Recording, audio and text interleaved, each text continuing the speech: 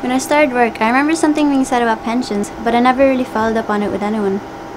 Pensions can be boring and full of technical stuff. I know I receive information now and again, but to be honest with you, I never read it. I just wouldn't have a clue what it all means.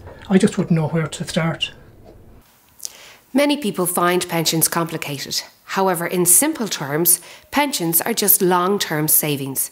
You pay in your contributions over your working life to receive an income in retirement when you are no longer working and earning. Your pension on retirement is your income, the money you have to live off. The type of lifestyle you would like in retirement and how you're going to fund it is up to you. So you need to understand your pension options. You first of all need to know whether you're in a pension scheme, and if so, what type. There are two main types company pension schemes and personal private pension arrangements. If you're unsure whether your company provides a pension, ask your employer.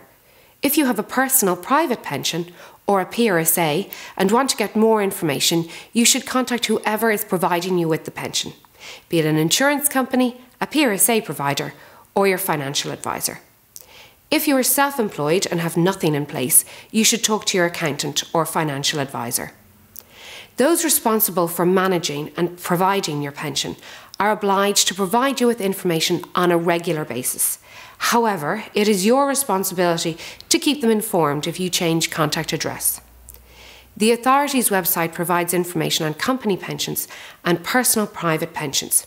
You should look up the relevant sections and also check out the free to download information booklets.